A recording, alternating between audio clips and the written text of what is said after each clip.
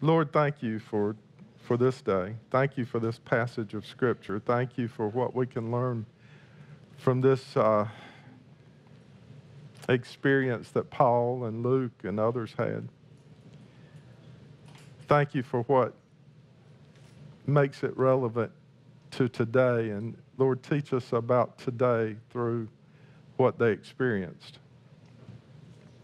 Only you can do that, and it's the power of your word. And so we truly expect revelation. And Lord, you said that uh, supernatural things follow your word and your message. So we expect that as well. So have your way here today. And we pray it in your name, Lord Jesus. Amen. Amen. And Ashley has left the sanctuary. So, um, I just changed the the order at which I was going to do something. I'm going to start off here. So, angels, the angel series, and Paul. Paul. Ooh, that looks like some stuff's in the water already. Wow. I don't know what that is. So, um, so this is it. I almost, um, if I'd wanted to take a lot of time with this, some of you think, oh, that's crazy. You already take a lot of time with this. But um, I've seen actual, um, coming up on the Isle of Malta, they have found things that coincide with this story of them beaching themselves basically on Malta. And I thought about looking for those archaeological photographs that they've they've found the stuff. Of course, the stuff that's covered with barnacles and everything, but stuff that was discarded as they were casting themselves uh, toward the shore and everything. So, um, but uh, but anyhow, I didn't do that. So there you go. Saved a little time. So our anchor scripture here, because we're doing angels, is uh, Acts 27, verse 23. This is the last time angels appear in the book of Acts, which is where we've been for a little while. Last night, an angel of the God to whom I belong and whom I serve stood beside me. And that's Paul talking to the crew. And we'll be there momentarily. So uh, I, had, I had a lot of scripture in this one which I always do, but I had like twice as many scriptures as usual, and I had to start, I had to start cutting it down some. So, um, so I'll skip around in Acts 27, but it'll all be in Acts 27. So uh, this is verse 1 and verse 3. This is the New International. When it was decided that we would sail for Italy, Paul and some other prisoners, so I'll tell you a little bit about that were handed over to a centurion named Julius, who belonged to the imperial regiment. The next day, we landed at Sidon, and Julius, in kindness to Paul, allowed him to go to his friends so they might provide for his needs. So, just a little, a little backstory here. Paul is obviously um, incarcerated. Is that a good way to put it? He's incarcerated. He's, he's, he's in custody and he has um, people who witnessed it. He he pled uh, for a audience with Caesar in the legal proceedings that were going on, and most people felt like that was unnecessary. That he would have been because uh, well, I won't even get into what was going on. But anyhow, he the the Lord has told him he's going to see Caesar. So he is incarcerated but he's incarcerated on a word from the Lord. What's actually happening is he's getting free passage to Caesar. That's right. That's right. He's getting free passage. He's not got to pay nothing. He's just being taken there. And uh, as we as we go through this, you'll see it's starting off in Acts 27. It's it's obvious that Paul is getting a lot of deferential treatment from Julius, the centurion. So there's already a favor that Paul has with the one in charge of him. Now, now there's other soldiers that that uh, that Julius has with him. So there's a contingent of soldiers. Uh, the centurion who's in charge, named Julius, which I don't know for sure, but, but there's a good chance he was named after Julius Caesar. You know, in all likelihood, don't know that for sure. Julius means like soft haired, so I don't know why you would name your child soft haired unless there was a famous soft haired person like Julius Caesar, you know, that you might say, uh, Julius. So um, he belonged to the imperial regiment. Some of your things may have Augustine or Augustus in there. It's uh, some people want to say that that was some kind of special, like the Secret Service or something, but it's not. It's just, a, as far as I know, it's just a regular regiment. Uh, regiments tended to have names, and so there would be a lot that would have imperial in the title or Augustine in the title. Um, so it starts off there. He's a prisoner. And notice it says that we would sail. If you go through uh, Acts, you'll see there are times that, that it's told in third person and times it's told in, in uh, what would that be? First person plural? Is it, uh, what is that called? Dolores didn't hear the English teacher. But anyhow, uh, we, so that means in all likelihood that Luke has actually joined them on this, on this little adventure. And uh, so there are other prisoners involved too, but Paul's the chief one, and he's on the way to see Caesar. And so uh, they land at Sidon. They left Caesarea, which we did a lot of stuff in Caesarea, and uh, landed at Sidon. And Julius very kindly letting Paul go see his friends, and uh, they're giving him stuff for his trip, probably, you know, a cheese ball and some crackers and, you know, maybe a bottle of wine. I don't know. Some stuff, maybe biscuits, cheese biscuits, maybe. I'm on a cheese thing, I think, right now. Pimento cheese, maybe. I don't know. So, so anyhow, that's what's happening. And, and that's not going to work. I just picked up the wrong thing there. Let's see. So, uh, skipping down to verses 6 and verse 9, uh, the centurion found an Alexandrian ship. Alexandria is in Africa. It was a chief city. In fact, uh, one of the things that is very unfortunate about there's a cool, lot of cool things that took place in Alexandria, but Alexandria had the, the chief library in the world and it burned to the ground. Um, and so so there were a lot of, a lot of things that were lost when that library in Alexandria uh, went down. But the ship, uh, there was a, a trade route uh, with grain coming from Alexandria going to Rome. And so there's an Alexandrian ship, uh, Egyptian ship, sailing for Italy, sailing for Rome, and he put, he put them on board. Uh, much time had been lost. Sailing had already become dangerous because by now it was after the Day of Atonement. So Paul warned them. Paul, the prisoner, right? Paul, the prisoner, is going to warn. Let's see who he's going to warn. He's going to warn the owner of the ship. He's going to warn the captain of the ship. He's going to warn the centurion in charge of him. The prisoner, Paul, is going to warn them all. Uh, but notice this that it's after the Day of Atonement, which means it's sometime uh, September, October. Uh, the, usually, the rule of thumb for the Mediterranean was you usually had fair sailing from Pentecost, which is usually May, June, through Day of Atonement. Well, actually, Tabernacles, so that was September, October. And, um, and after that, it got dicey, and especially this is interesting because of the time you you know the other day was Veterans Day, November 11th. Actually, November 11th was seen as the day that if you sail after November 11th, it was suicide. So it, it was just curious, you know, that we're hitting this uh, at that moment when that was thought. So Paul warns them, and the other thing about after the Day of Atonement uh, again, who's writing this? Just real quick. Who's writing this?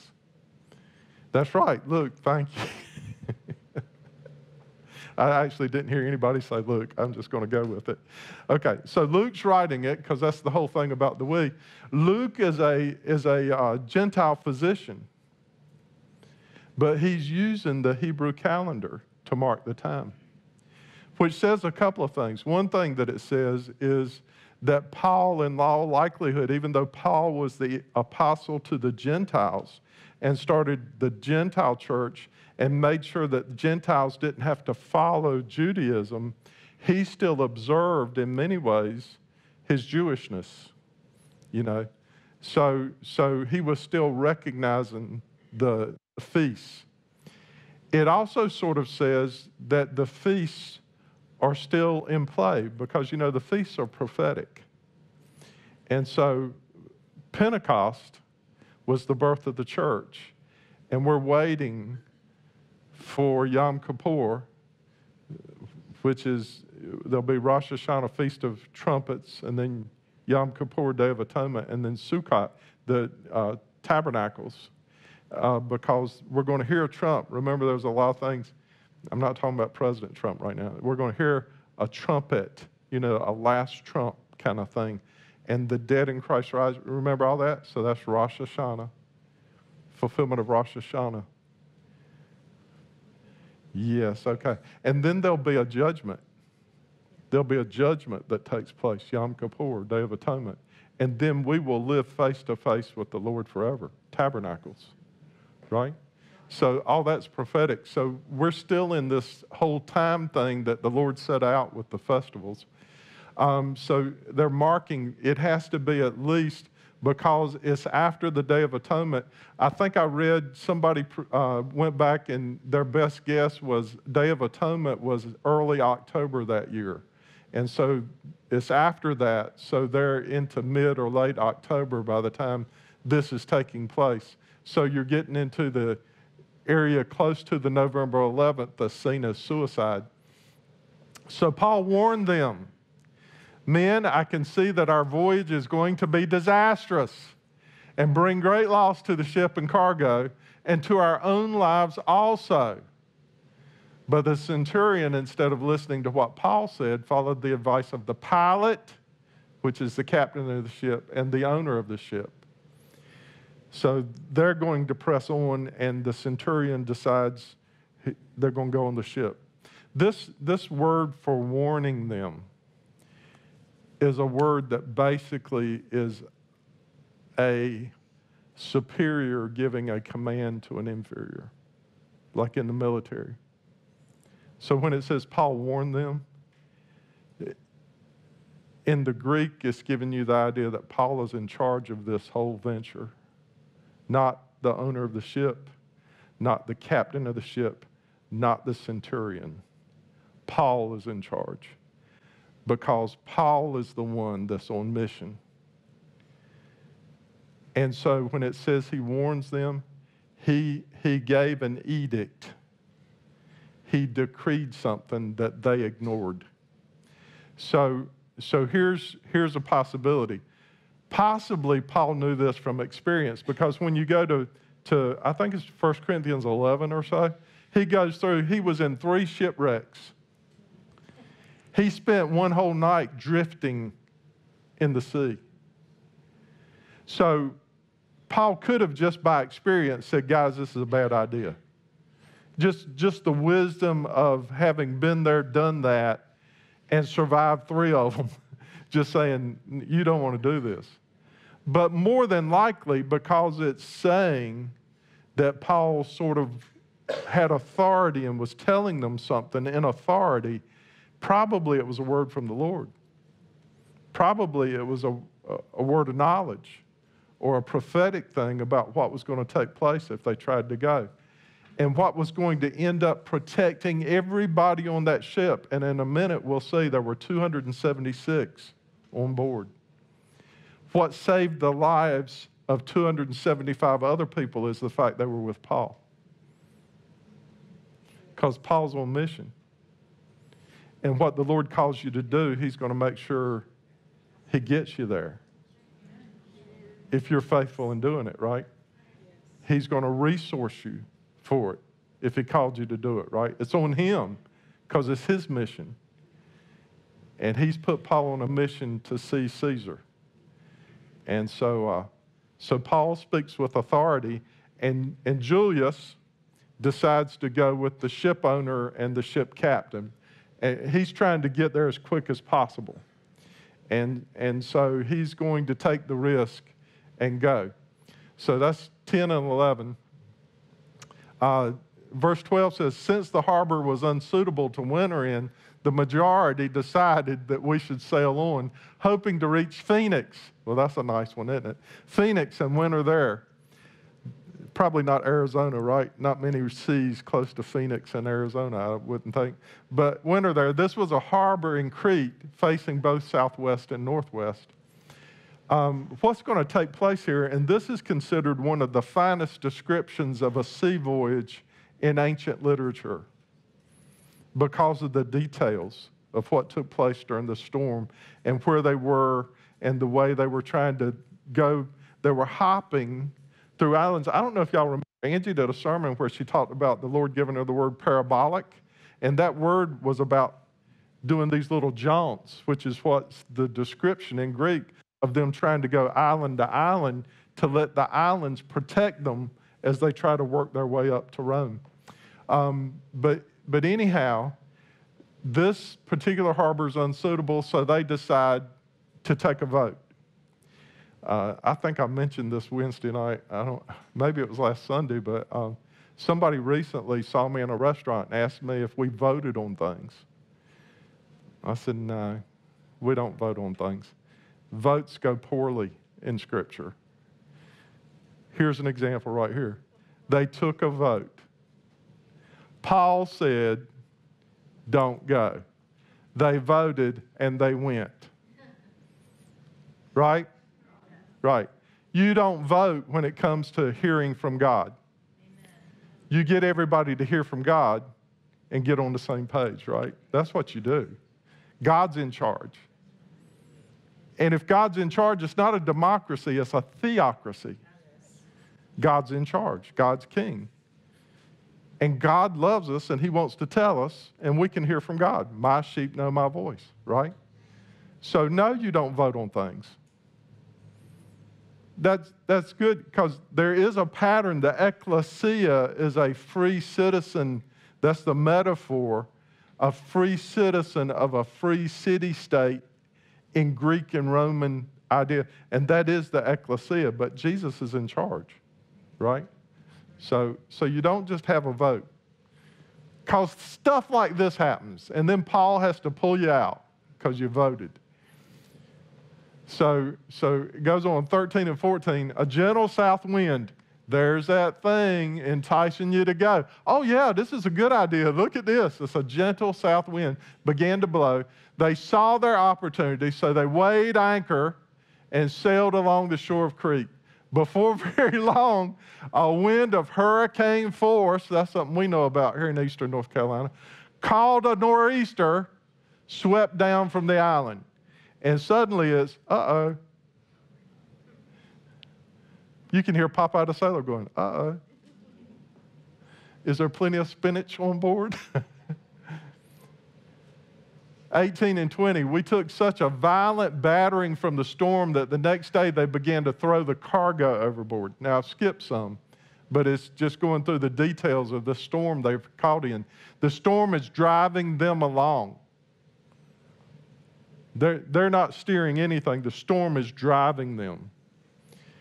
So on the third day, they threw the ship's tackle overboard with their own hands. When neither sun nor stars appeared for many days, because the storm's just raging. And the storm, oh, there you go, on cue. And the storm continued raging. We finally gave up all hope of being saved. Except for Paul, right? Right, right, because Paul's got a word from the Lord, right? Yeah. He knows he's going to see Caesar. But, but Luke Luke is having to travel on Paul's word, right?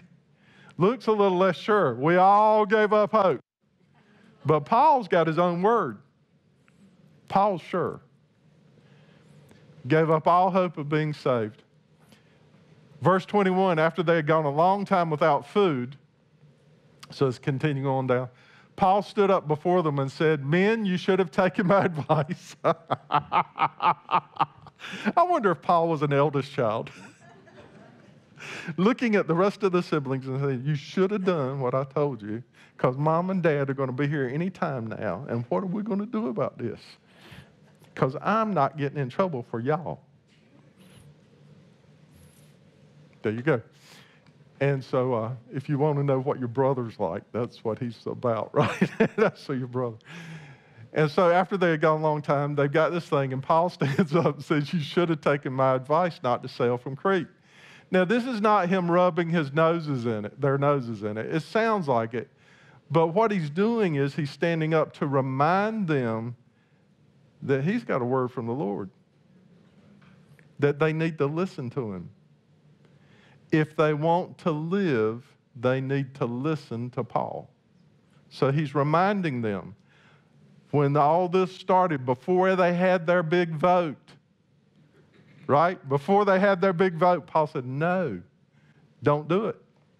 And then they had their big vote, and now they're in, well, I'll, let me change my words. Now they're in a bind. And so, uh, so he said, You would have spared yourselves damage and loss. They've already lost all kinds of stuff, already uh, taken on all kinds of damages.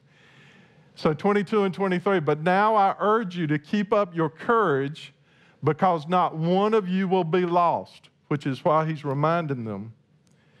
He's telling them prophetically, you're going to live. Remember, Luke's already said they're hopeless. They feel hopeless and helpless. You know what that is? Suicidal. When there's no hope and there's no help.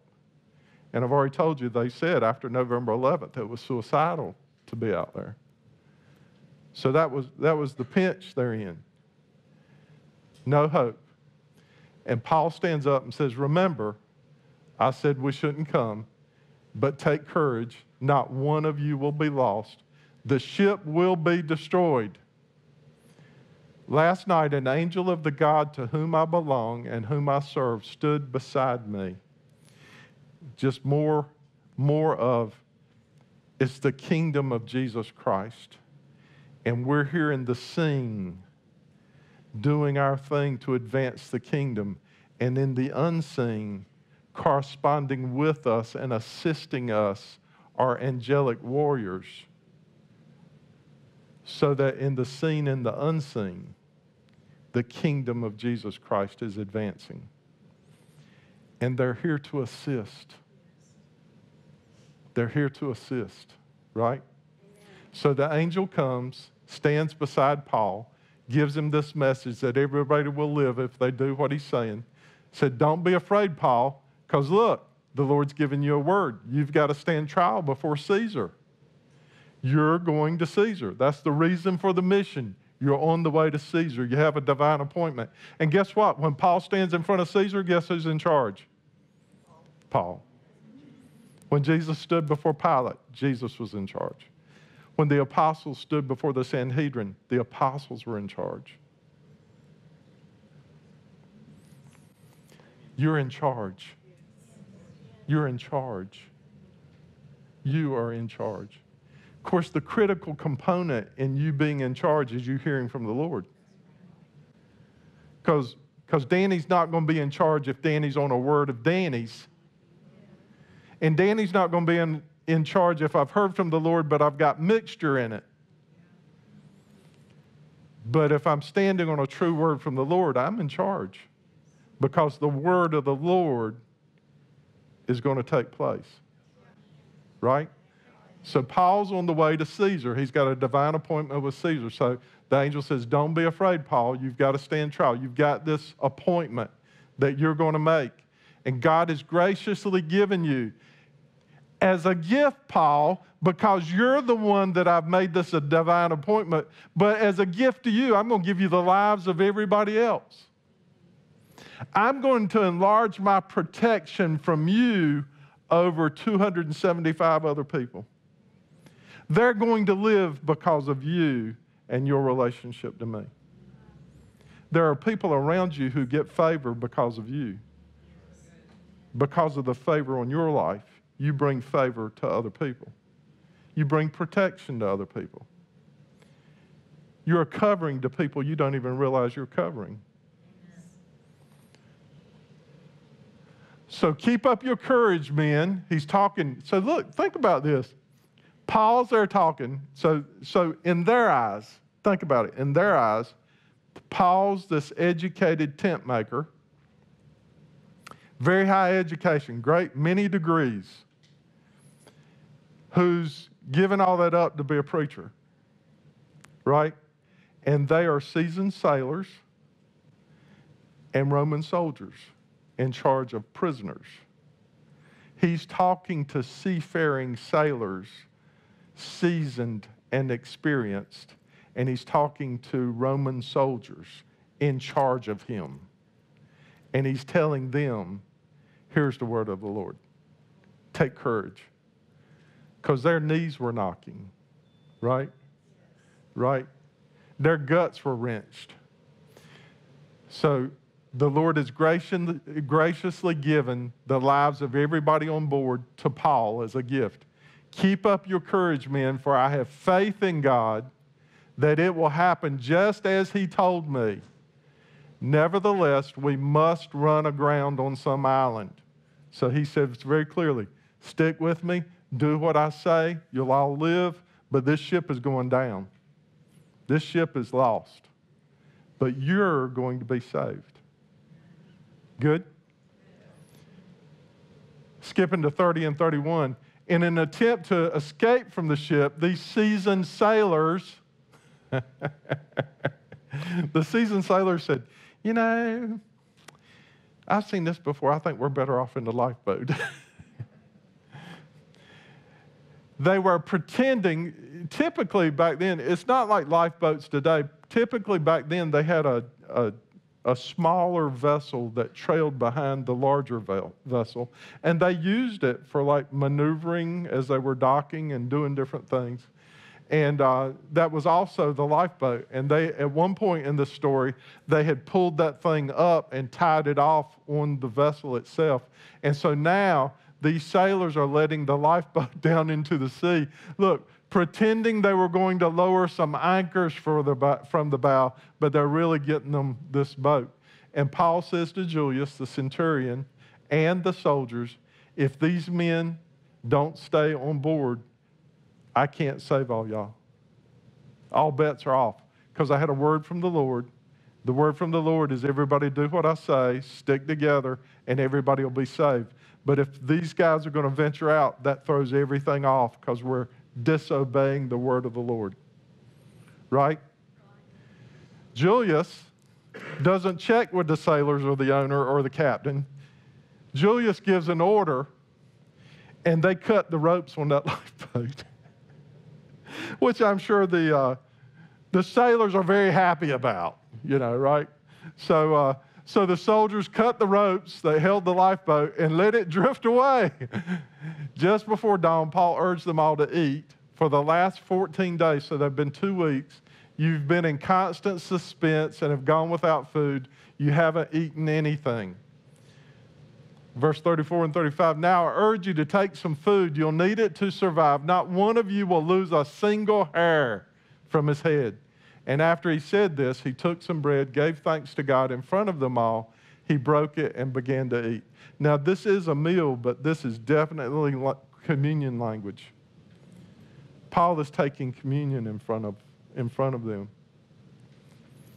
This is, you know, we talk about the Last Supper. Just, this is the Last Supper because this is the last time they're going to eat before this ship is gone. So this is literally a Last Supper. And as a part of that, Paul is, Paul is having communion as a part of that meal. And so everybody eats their fill to get whatever strength they can. Uh, 36 through 38, they're all encouraged. They eat. Altogether, there were 276. Some of you may have like 76 or different numbers, but most manuscripts, 276 uh, on board. When they eaten as many as they had, as much as they had wanted, they actually lightened the ship by throwing the rest of the grain into the sea. And then 39, oh, no more, no more. That's it. Okay. Well, it goes on after this. It gets to a place that the soldiers are going to kill the prisoners because they don't want to be responsible when they abandon ship. If they lose any of those prisoners, you know, you die. You, you die if you lose your prisoner. We've already seen this in some of our angel stories. And Julius steps in again because of Paul, because he loves Paul. He steps in and says, No, I believe they'll all get to shore and everybody's going to be okay and we won't lose anybody. So he prevents the soldiers from killing all the prisoners. And they do end up on shore, and that's the whole story. But what I want to just uh, focus on for a second, besides the fact that we have angels supporting us in our ministry, in the unseen realm, corresponding to us in the seen, here's, here's just something for you. It's an easy metaphor, it's an easy parable. Many times the seas are seen as the abyss. The seas are also seen as nations. The nations are troubled.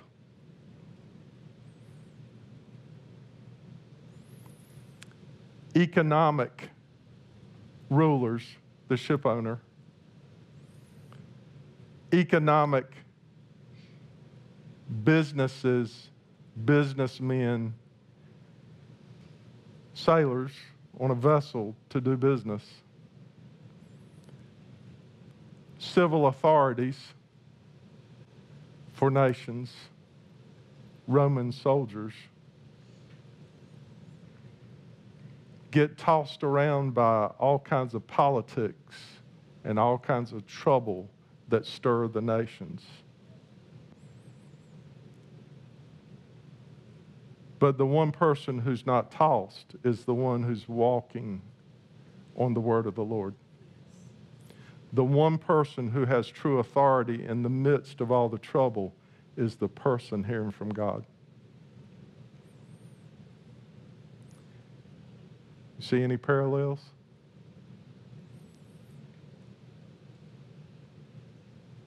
We live in a troubled world. We're not to be troubled. The nations are in an uproar. We don't need to be in an uproar. Civil authorities and economic authorities don't know what's going on, and they're helpless to do anything of any true impact.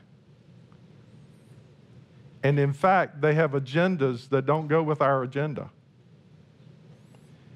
And many times, their own agenda will be the death of them.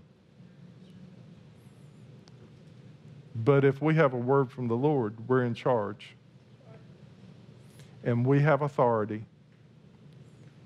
And we can stabilize and save people that are caught up in all the trouble you see that? It's a, it's a parable. The experience Paul had is a parable for today. There's trouble on every hand. It seems like there's no hope. It seems like it's going to end in disaster. And the truth is, some man made stuff is going down.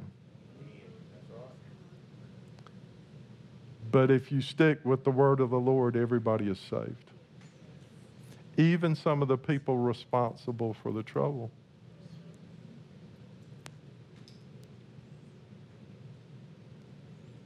Let me say that one more time.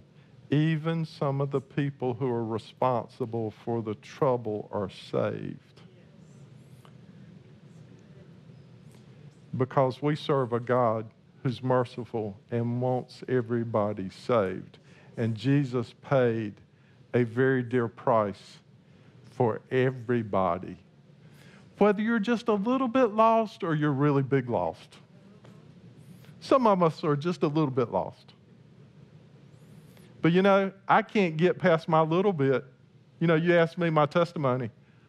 I grew up with people who believed, and I believed my whole life, and I would not have been saved without believing, even though it's just a little bit. And there are some people that are big time prodigals who had all kinds of gallivanting involved. And they're saved the same way I was saved. And the gap between Jesus and where we were does not matter. It was a gap. And He's the only one that could bridge that gap, whether it was a little gap or a big gap. Whether you're trying to get across a ditch you can't jump across, or whether you're looking at, you know, there's a big hole out in Arizona somewhere. You, you ever heard of that big hole? It's a grand big hole. Either way, regardless of the hole in front of you, Jesus is the one that can get you across. And so there are going to be some people in the midst of what's taking place and the trouble right now that are standing in a Grand Canyon and they're going to be bridged over.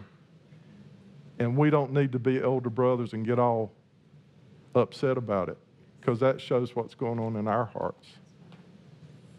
We need to rejoice that people get saved.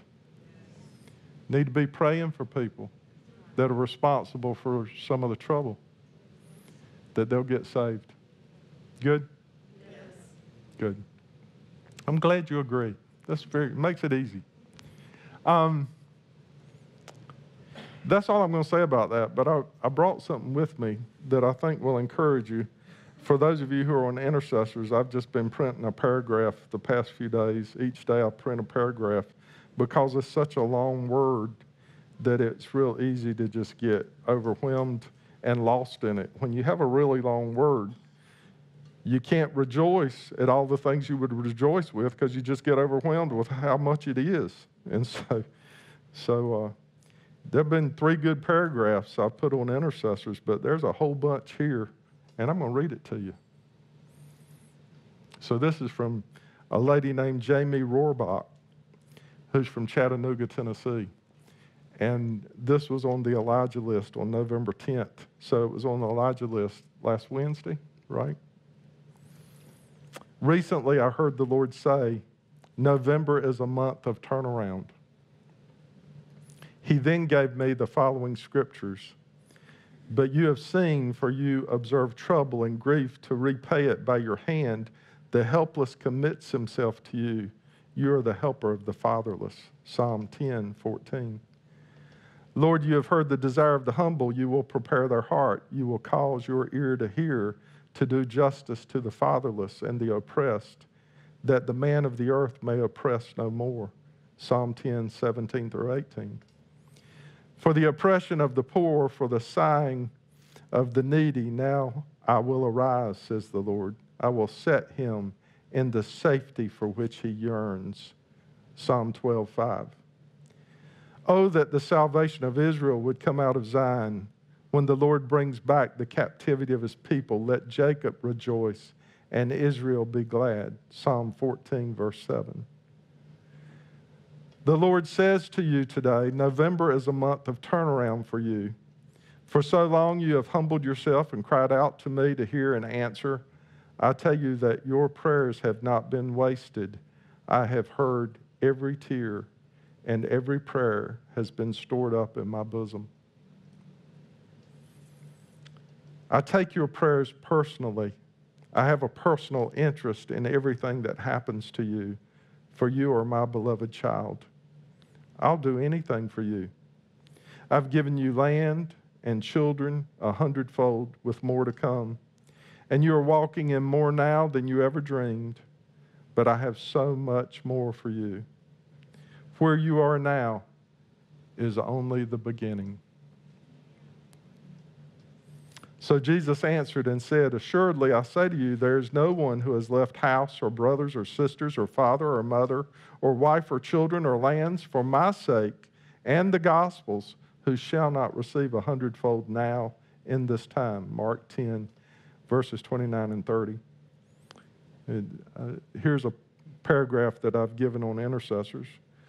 Do not fear, my child, for it is my good pleasure to give you the kingdom. Take your hands off the things you've been clinging to and let me show you what I can do with them. Invite me to work with your pain, work your pain out for your good this month. For I say to you now that November is your month of turnaround. In November, I will be working things out for your good, and the goodness of my turnaround will become obvious. I've raised you up in, a, in secret, but I am getting ready to flaunt you to the world as my treasure, my delight, and my beloved. No one except for me has seen you at any time, not truly, not the way I see you. But in November, I am lifting the veil off the eyes of the people around you, and I will show you what I have in store. Here's another paragraph I put on intercessors.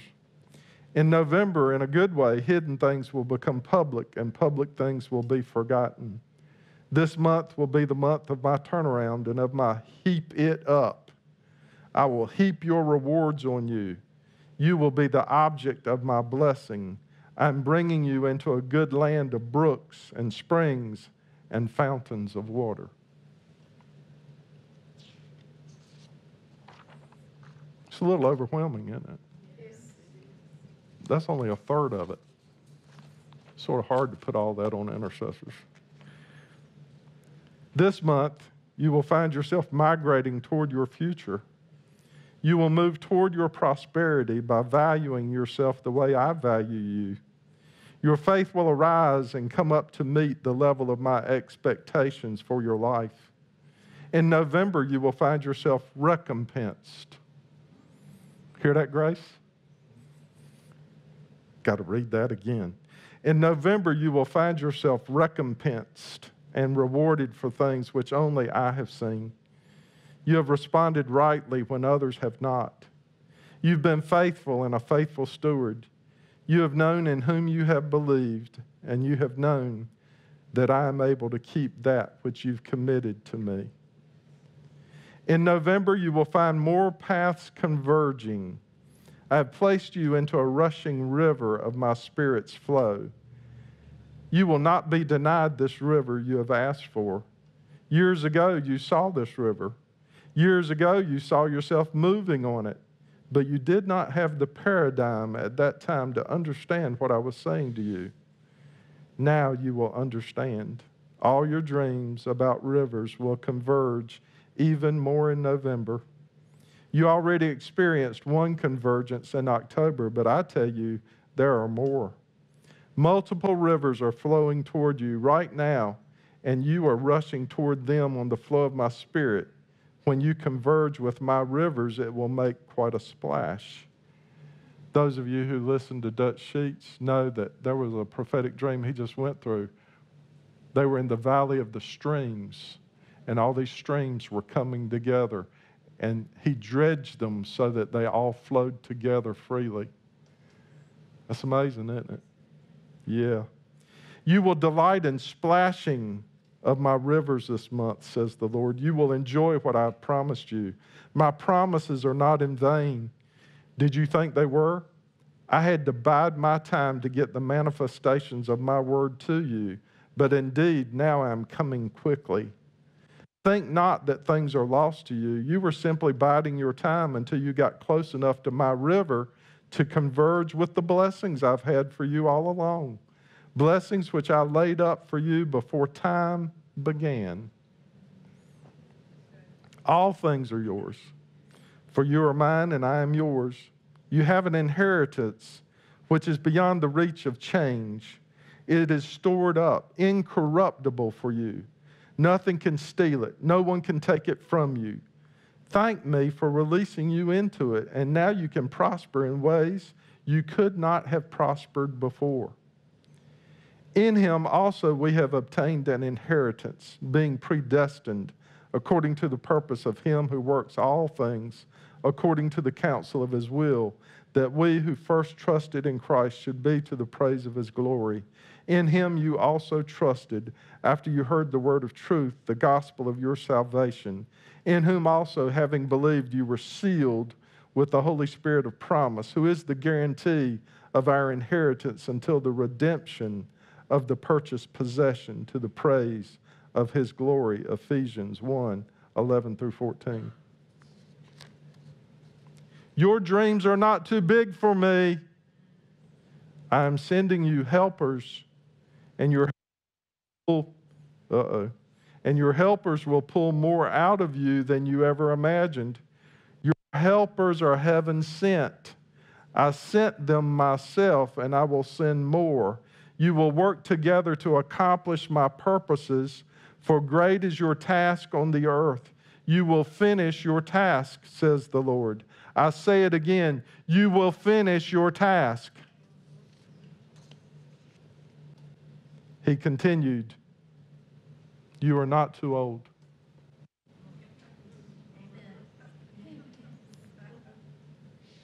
I want to say that again, too. You are not too old, not too tired, not too anything to do what I've called you to do. Indeed, I'm giving you rest. I'm bringing you into a wide place, a safe place, a land of brooks of water, of fountains and of springs.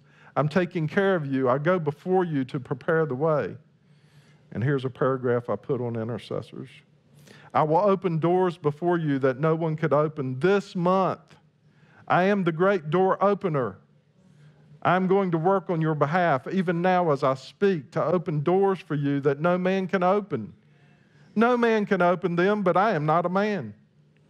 I can open every door for you, and I tell you that you will be surprised and shocked at the doors I am opening for you right now. Try me and see. Get to know me and my DNA. Know me and my heart toward you. Put a draw and a demand on me and my heart toward you. My love for you is vast, it is almost incomprehensible, but indeed you will know it. I am ministering my love to you right now in ways that you need, ways you thought were not possible, ways you did not think to ask for. Ask me this month to help you receive my love and all it contains. You will not even know what you are asking, but I know, and I need you to ask it. I have more for you than you can imagine. I love that we can ask and not even know what we're asking for, but He knows and He grants. That's cool. In November, you will see a convergence of even more rivers, for I am redeeming your past. Say hello to your future. Right now, your future is bright, but I had to remove some things from you and remove you from some things. However, you're ready to walk forward now. In November, you will see some things happen that you could not have dreamed. I will turn it around for you in November, says the Lord. Indeed, I will turn it around. It's a long word, it's a good word. And it's all about November. Kim Clement talked about a November to remember. Wow. Could this be the November to remember? And she's got a prayer. Jamie Rohrbaugh has a prayer to pray into this. So I'm just going to read this prayer, and you can, you can uh, agree with it if you like. Father God, I receive it. I take this word unto myself, and I thank you for it. Abba, Father, please help me receive your love and all it contains. Thank you for my future. I say hello to it now. Thank you for working all things out for my good. Thank you for turning things around for me. Father God, please help me to stay on your straight and narrow path while you work all the while on my behalf. Help me to stay immersed in the river of your Spirit while you move me into everything you have for me. Thank you, Holy Abba, Father. In Jesus' mighty and precious name, I pray. Amen. It's a good word. It's a good word. And I like one reason, I had two reasons for reading it, maybe three. One reason was it's November. One reason was we're going to have some helpers that come and help us, and they're heaven sent, and it sounds like they're angelic, which goes with our series. And the third reason is I just like it. it bears witness to me. So uh, I hope it bore witness to you. The praise team can come up. You have more authority than you realize, and you command angels. That's hard to get your mind around, doesn't it? Mm. Don't ever want to be an angel. You command angels.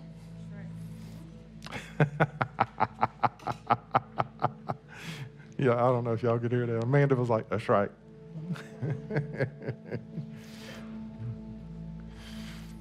she knows she commands angels because she commands a Marine.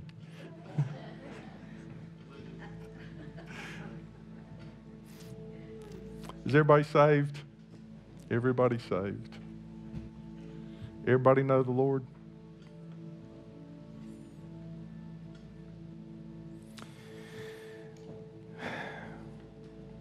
I believe that Jesus is the Christ, the Son of God. Is that easy? Making a confession to somebody? I believe Jesus is the Christ, Messiah, the anointed one, the Son of the living God, my Abba, my Father. And Jesus is the Savior of the world, the Lamb of God who takes away the sin of the world and He's the Lord of Lords.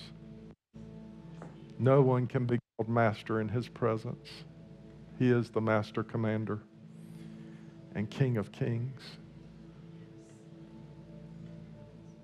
of everywhere, of all time. Can't go any, any place in history that He's not King. Beginning or end, He's King. In the vastness of space, He's King. In the middle of the deepest cavern, he's king. King of glory. King of the universe. That's cool. Well, we're going to meet around the Lord's table now, so I'm going to pray. Lord, thank you for the bread and the cup. Thank you for teaching us to eat and drink and remember what you've done for us. Meet with us while we do this. Make us keenly aware that by your stripes we were healed and that you have given us life through this redemption, forever life. Meet with us and speak to us as we eat and drink, Lord, corporately and individually. And we pray it in your name, Jesus. Amen.